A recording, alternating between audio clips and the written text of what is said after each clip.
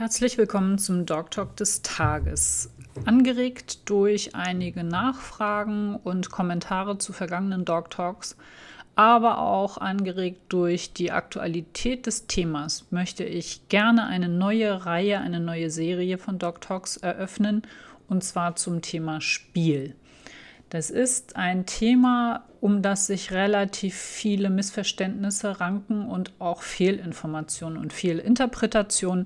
Und ich würde hier gerne dazu beitragen, das ein bisschen aufzuklären und ähm, darüber ein paar Informationen zu geben, damit man sich ein eigenes, vielleicht neues und korrigiertes Bild zu dem Thema machen kann. Ich erzähle euch dafür ein bisschen was aus aktuellen Erkenntnissen aus der Humanpsychologie in Bezug auf das Spiel. Und zwar ist das Spiel relativ gut erforscht bei Menschen, bei Tieren inzwischen ähm, auch. Da gibt es etliche Studien drüber. Und was man sagen kann, ist, dass das Thema Spiel ähm, bestimmte Kennzeichen hat, die es praktisch charakterisieren. Und zwar ist es so, dass das Spiel ein Zeichen von höheren sozialen Säugetieren ist. Also Tiere niederer Ordnung sozusagen, die verfügen weniger über Spielverhalten und je sozialer ein Säugetier ist, also je diffiziler seine Sozialstrukturen, in denen es lebt, sind, umso höher ist die Wahrscheinlichkeit, dass dort auch gespielt wird. Allerdings ist es tatsächlich so, dass es keine Spezies im Tierreich gibt, die so intensiv spielt, wie es der Mensch tut. In der Biologie geht man davon aus, dass es einen Trieb gibt, also einen sogenannten Spieltrieb. Und dieser Trieb wird eingeordnet in die Instinkttheorie. Das heißt, es ist ein Sozialverhalten und angeboren bei Säugetieren. Und damit dient es auch gleichzeitig als Kennzeichen für Gesundheit und Wohlbefinden. Also Lebewesen, die nicht spielen, obwohl es zu deren natürlichem Verhalten zählt. Ähm, und die tun es nicht. Da kann man davon ausgehen, dass irgendetwas fehlt oder nicht in Ordnung ist. Also die Tiere möglicherweise verhaltensgestört sind oder eine Krankheit vorliegt. Allerdings muss man dabei berücksichtigen, dass das Spiel sich im Laufe des Lebens in seiner Intensität und Qualität und Quantität verändert. Jungtiere spielen in, bei allen Spezies mehr und intensiver als erwachsene Tiere und bei manchen Tierarten verliert sich das Spielverhalten im Erwachsenenalter auch gänzlich. Der Hintergrund, welchen Sinn und Zweck hat Spiel? Nun, es ist so, dass der Spieltrieb, wenn er ausgelebt wird, in der Regel gekennzeichnet ist durch Lernen über Versuch und Irrtum.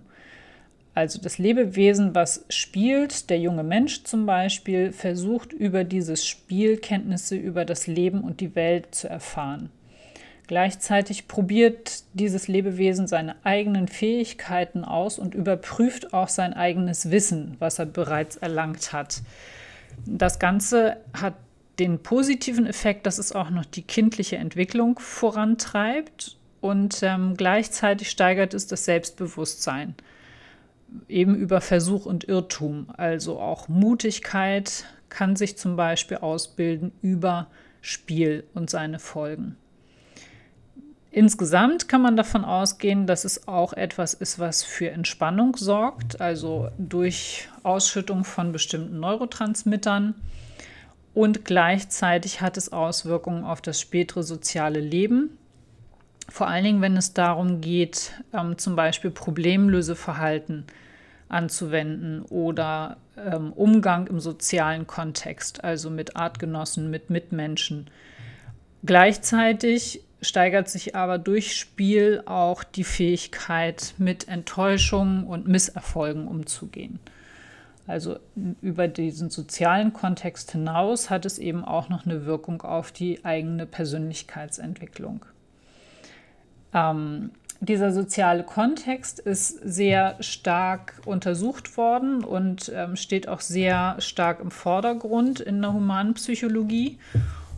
Und es gibt äh, verschiedene Wissenschaftler, zum Beispiel ein ähm, Professor Rolf Oerter, der ist Professor für Entwicklungspsychologie, Der sagt, Spiel ist ein Verhalten ohne Zweck, aber nicht ohne Sinn.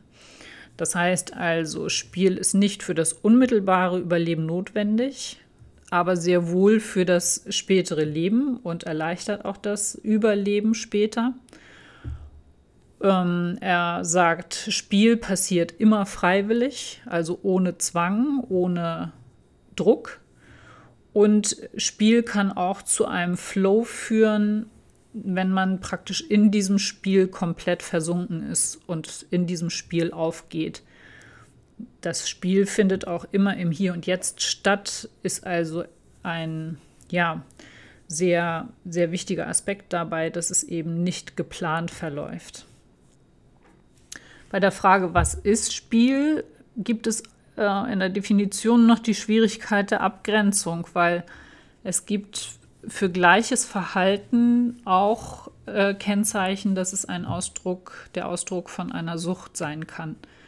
Also Spiel ist eigentlich Vergnügen und eben selbstlos sozusagen, aber es kann eben auch das gleiche Verhalten zu sehen sein und gleichzeitig eben dieses Feld des Spiels verlassen haben und Ausdruck einer Sucht sein. Kennen wir auch, ne? Spielsucht zum Beispiel.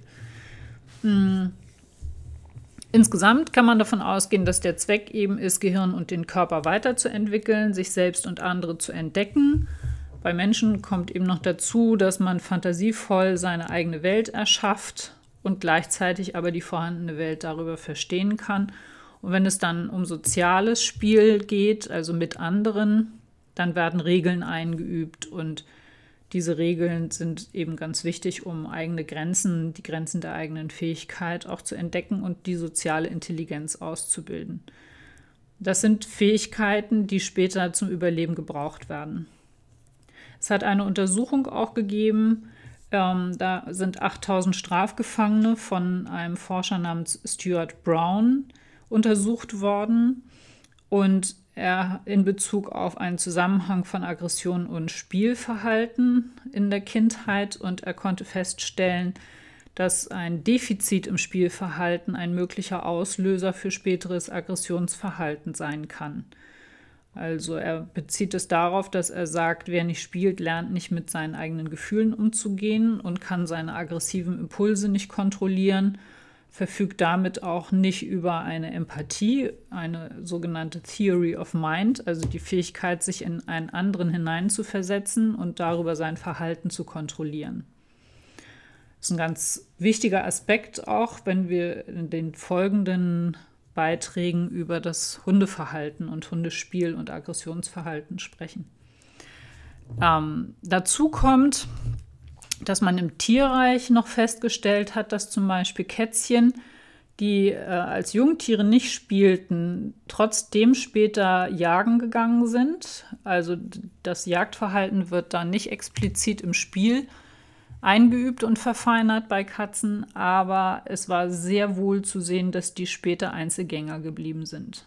Also das Nichtspielen in jungen Jahren oder im jungen Katzenalter hat die Konsequenz, dass sie trotzdem jagen können. Also der Nahrungserwerb bleibt gleich, aber im sozialen Kontext gibt es eben bleibende Schäden sozusagen. Also sie bleiben Einzelgänger, sind eben nicht sozial verträglich.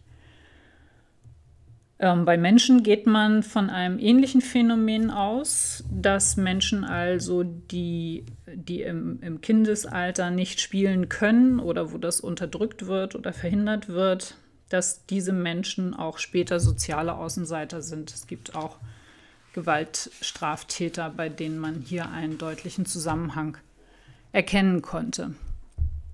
Im Tierreich hat man das untersucht und festgestellt, dass Tierkinder vor allen Dingen im Spiel einüben, was sie später gebrauchen können. Also auf diesem Foto sieht man so zwei Katzen, die gerade Angriffsverhalten einüben, aber eben auch andere Verhaltensweisen wie zum Beispiel Anschleichen oder Jagen, Flüchten, Abwehren, Konkurrenzkämpfe, Auseinandersetzungen.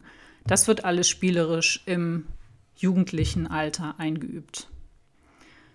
Das war der Doc des Tages heute mit dem Teil 1 zum Thema Spiel. Ich hab, wir haben uns darüber unterhalten, welchen Sinn und Zweck Spiel haben kann. Und in den nächsten Folgen werden wir diese Erkenntnisse auf den Hund übertragen und da auch weitere Abgrenzungen vornehmen.